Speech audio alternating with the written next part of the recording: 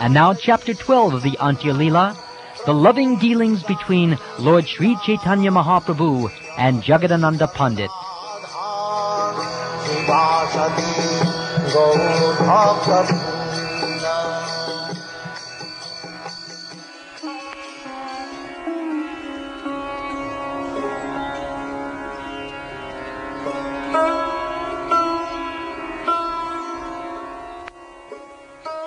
O devotees, may the transcendental life and characteristics of Sri Chaitanya Mahaprabhu be always heard, chanted, and meditated upon with great happiness. All glories to Sri Chaitanya Mahaprabhu, who is all merciful. All glories to Nityananda Prabhu, who is an ocean of mercy. All glories to Advaita Acharya, who is also an ocean of mercy.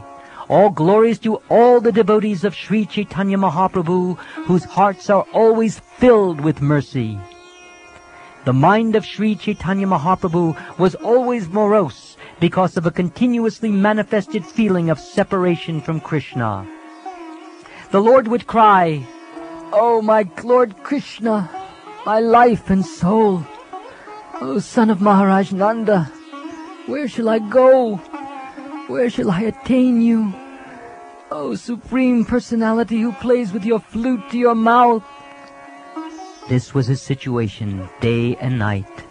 Unable to find peace of mind, he passed his nights with great difficulty in the company of Svarup Damodar and Ramananda Roy.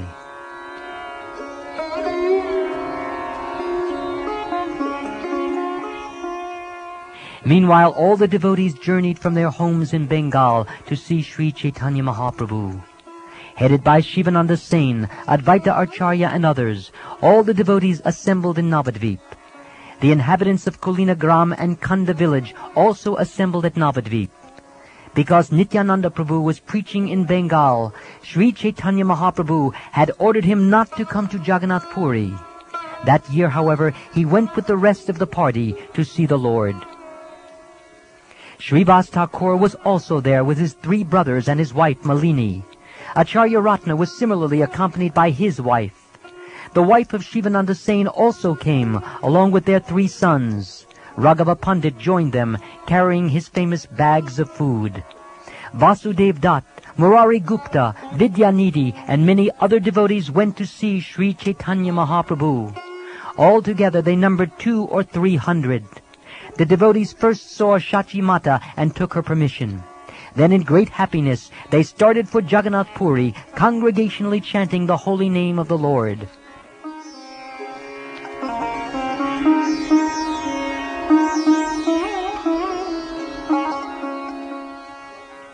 Shivananda Sen managed the payment of tolls at different places. Maintaining everyone, he guided all the devotees in great happiness. Sen took care of everyone and gave each devotee places to stay. He knew all the paths leading to Orissa. One day, when the party was being checked by a toll collector, the devotees were allowed to pass, and Shivananda Sen remained behind, alone, to pay the taxes. The party went into a village and waited beneath a tree because no one but Shivananda Sen could arrange for their residential quarters. Nityananda Prabhu, meanwhile, became very hungry and upset. Because he had not yet obtained a suitable residence, he began calling Shivananda Sen ill names. He complained, Shivananda Sen has not arranged for my residence, and I am so hungry I could die. Because he has not come, I curse his three sons to die. Hearing this curse, Shivananda Sen's wife began to cry. Just then, Shivananda returned from the toll station. Crying, his wife informed him, Lord Nityananda has cursed our sons to die because his quarters have not been provided. Shivananda Sen replied, You crazy woman, why are you needlessly crying? Let my three sons die for all the inconvenience we have caused Nityananda Prabhu. After saying this, Shivananda Sen went to Nityananda Prabhu, who then stood up and kicked him. Very pleased at being kicked, Shivananda Sen quickly arranged for a milkman's house to be the Lord's residence. Shivananda Sen touched the lotus feet of Nityananda Prabhu and led him to his residence. After giving the Lord his quarters, Shivananda Sen, being very pleased, spoke as follows. Today you have accepted me as your servant, and have properly punished me for my offense. My dear Lord, your chastising me is your causeless mercy. Who within the three worlds can understand your real character?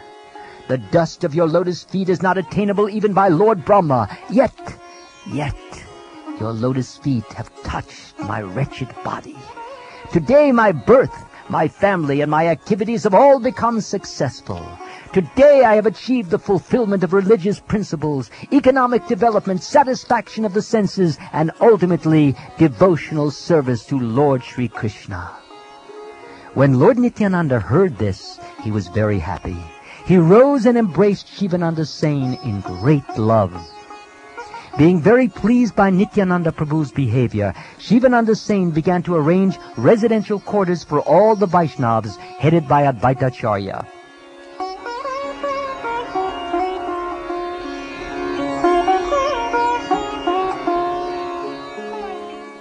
One of Sri Nityananda Prabhu's characteristics is his contradictory nature. When he becomes angry and kicks someone, it is actually to his benefit. Shivananda Sain's nephew, Sri Kanta, the son of his sister, felt offended and he commented on the matter when his uncle was absent. My uncle is well known as one of the associates of Sri Chaitanya Mahaprabhu, but Lord Nityananda Prabhu asserts his superiority by kicking him. After saying this, Sri Kanta, who was only a boy, left the group and traveled on alone to the residence of Sri Chaitanya Mahaprabhu. When Sri Kanta offered obeisances to the Lord, he was still wearing his shirt and coat. Therefore Govinda told him, My dear Sri Kanta, first take off these garments. As Govinda was warning Sri Kanta, Sri Chaitanya Mahaprabhu said, Don't bother him.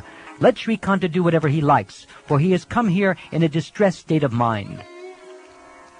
Sri Chaitanya Mahaprabhu inquired from Sri Kanta about all the Vaishnavas, and the boy informed the Lord about them, naming them one after another. When Sri Kanta Sain heard the Lord say, He is distressed, he could understand that the Lord is omniscient. As he described the Vaishnavas, therefore, he did not mention Lord Nityananda's kicking Shivananda Sain. Meanwhile, all the devotees arrived and went to meet the Lord. Sri Chaitanya Mahaprabhu received them all just as he had in previous years. The women, however, saw the Lord from a distance. The Lord again arranged for the residential quarters of all the devotees and thereafter called them to partake of the remnants of food offered to Lord Jagannath.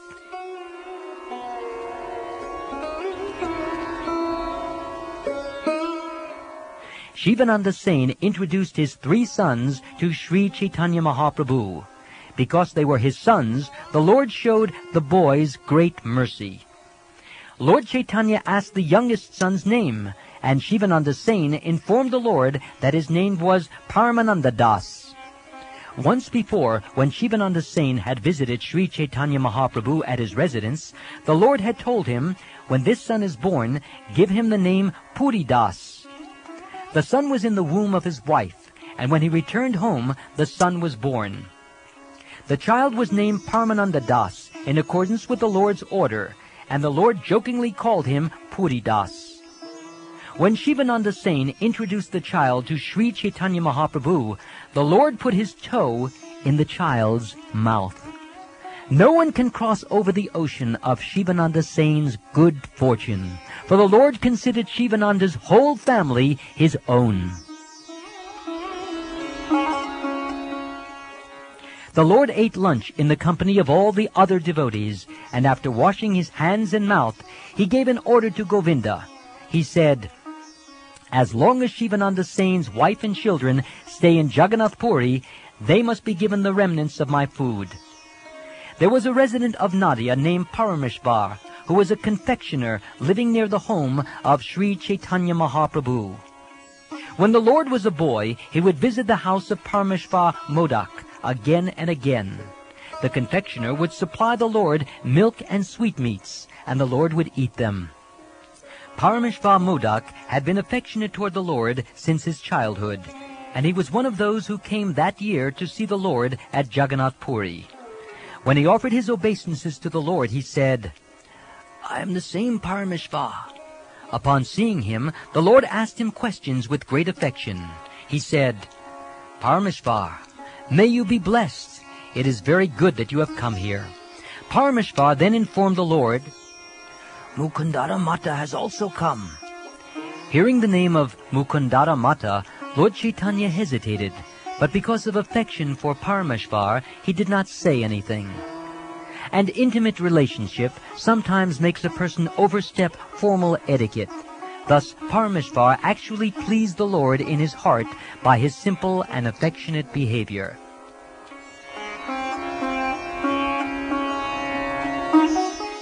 All the devotees engaged in the cleansing ceremony of the Gundicha temple and danced in front of the Rathayatra cart just as they had done in the past. For four consecutive months, the devotees observed all the festivals. The wives, such as Malini, extended invitations for lunch to Sri Chaitanya Mahaprabhu. From Bengal, the devotees had brought varieties of Bengali food that Sri Chaitanya Mahaprabhu liked.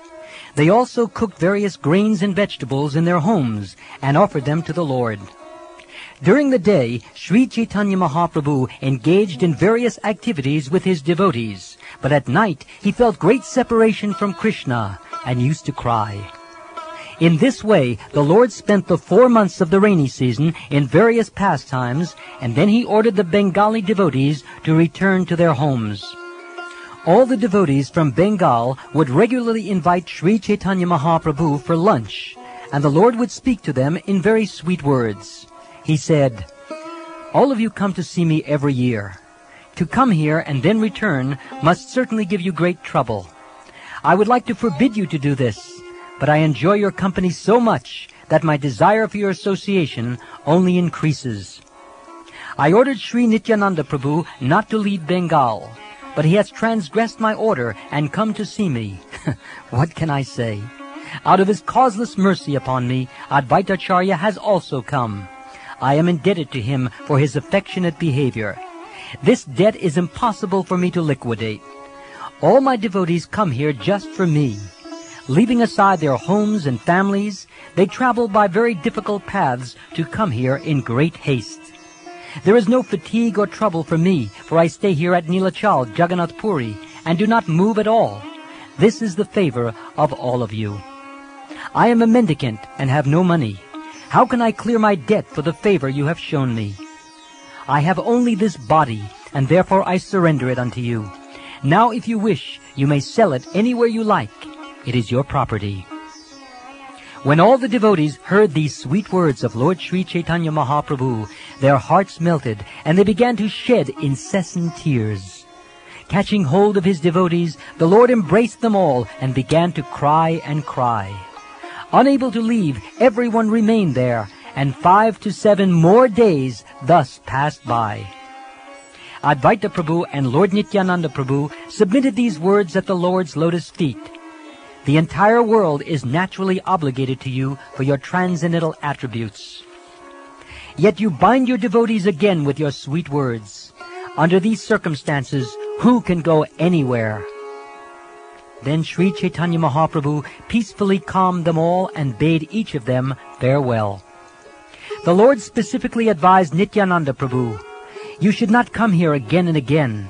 You will have my association in Bengal. The devotees of Sri Chaitanya Mahaprabhu began their journey, crying while the Lord remained morosely at his residence. The Lord bound everyone by his transcendental mercy.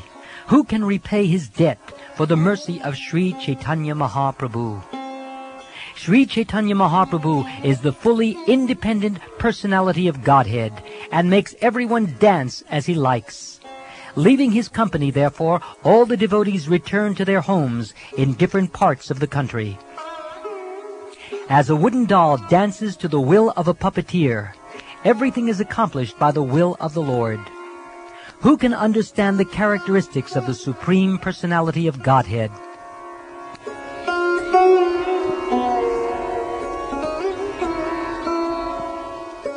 The previous year, Jagadananda Pandit following the Lord's order, had returned to the city of Nadia to see Shachi Mata. When he arrived, he offered prayers at her lotus feet and then offered her the cloth and prasad of Lord Jagannath. He offered obeisances to Sachi Mata in the name of Lord Chaitanya Mahaprabhu and informed her of all the Lord's submissive prayers to her. Jagadananda's coming pleased Mother Sachi very much. As he talked of Lord Chaitanya Mahaprabhu, she listened day and night. Jagadananda Pandit said, My dear mother, sometimes the Lord comes here and eats all the food you have offered. After eating the food, the Lord says, Today, mother has fed me up to my neck. I go there and eat the food my mother offers, but she cannot understand that I am eating it directly. She thinks that this is a dream. Sachi Mata said, I wish Nimai would eat all the nice vegetables I cook.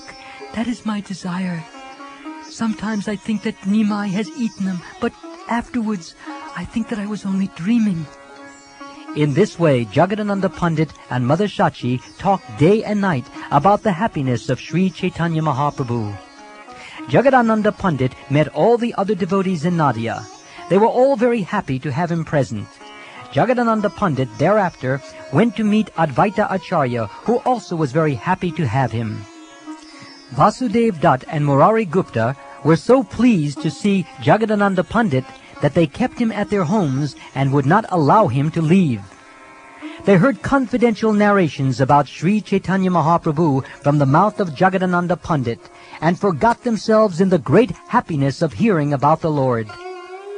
Whenever Jagadananda Pandit went to visit a devotee's house, that devotee immediately forgot himself in great happiness. All glories to Jagadananda Pandit. He is so favored by Sri Chaitanya Mahaprabhu that anyone who meets him thinks, now I have gotten the association of Sri Chaitanya Mahaprabhu directly.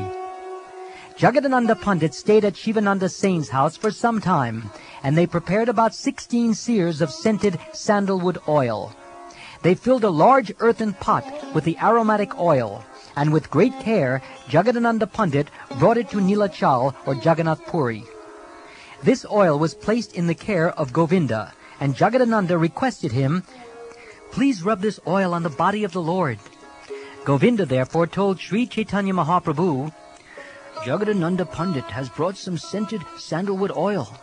It is his desire that your lordship apply a little of this oil on your head, so that blood pressure, due to bile and air, will be considerably diminished. He prepared a large jug of it in Bengal, and with great care he has brought it here. The Lord replied, A sannyasi has no use for oil, especially perfumed oil such as this. Take it out immediately. Deliver this oil to the temple of Jagannath, where it may be burned in the lamps. In this way, Jagadananda's labor to manufacture the oil will be perfectly successful. When Govinda informed Jagadananda Pandit of this message, Jagadananda remained silent, not saying even a word. When ten days had passed, Govinda again told Sri Chaitanya Mahaprabhu, It is the desire of Jagadananda Pandit that your lordship accept the oil. When the Lord heard this, he angrily said, Why not keep a masseur to massage me? Have I taken sannyas for such happiness? Accepting this oil would bring me ruination, and all of you would laugh. If someone passing on the road smelled this oil on my head, he would think of me as a Dari sannyasi, a tantric sannyasi who keeps women. Hearing these words of Sri Chaitanya Mahaprabhu, Govinda remained silent. The next morning, Jagadananda went to see the Lord. Sri Chaitanya Mahaprabhu said to Jagadananda Pandit, My dear Pandit, you have brought me some oil from Bengal, but since I am in the renounced order, well, I, I can't accept it. Deliver the oil to the temple of Jagannath, so that it may be burned in the lamps. Thus your labor in preparing the oil will be fruitful. Jagadananda Pandit replied, Who tells you all these false stories? I never brought any oil from Bengal. After saying this, Jagadananda Pandit took the jug of oil from the room and threw it down before Sri Chaitanya Mahaprabhu in the courtyard and broke it. After breaking the jug, Jagadananda Pandit returned to his residence, bolted the door, and lay down.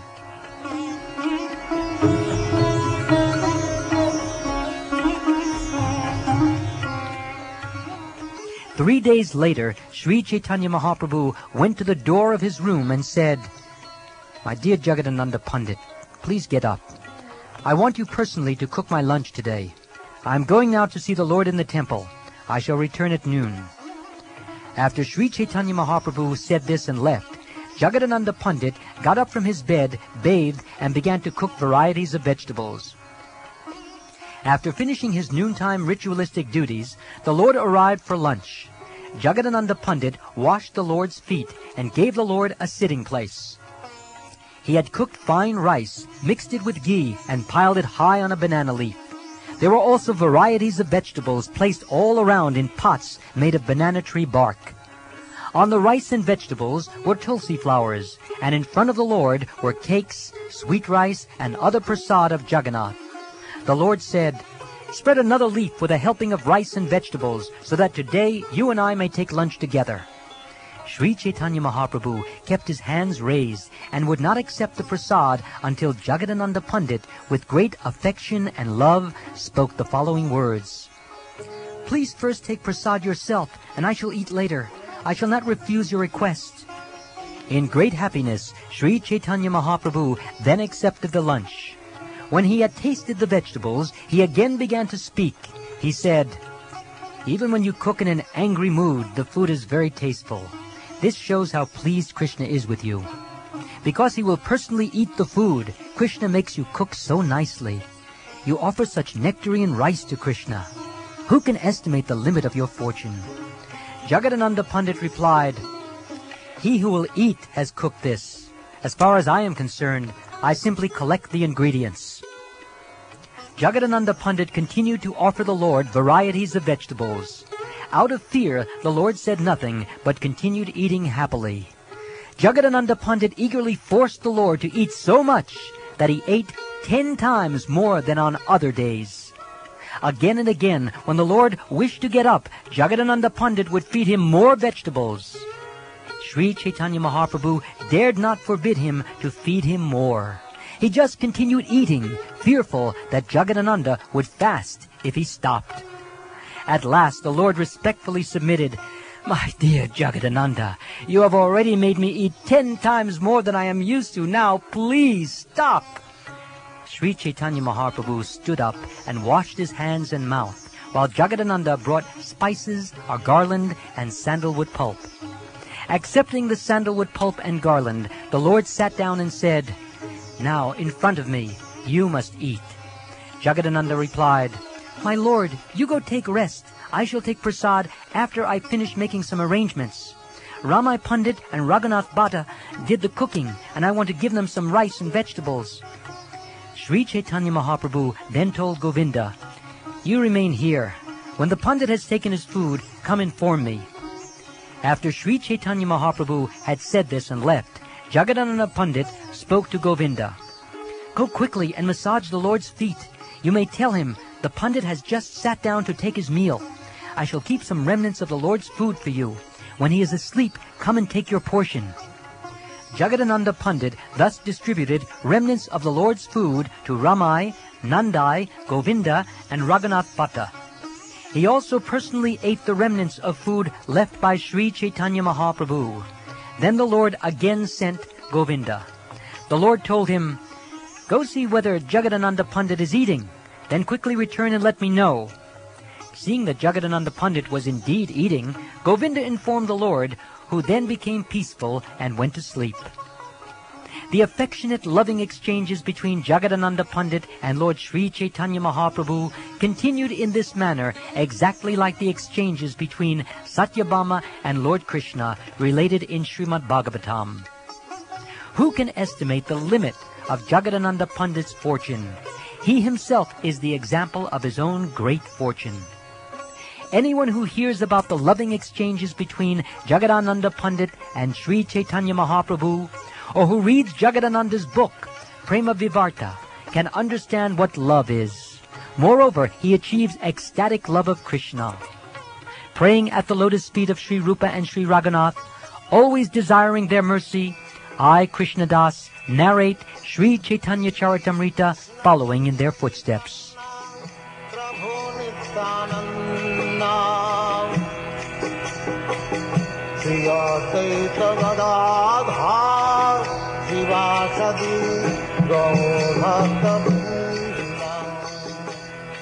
This ends chapter 12 of the Antya the Lord's dealings with Jagadananda Pandit.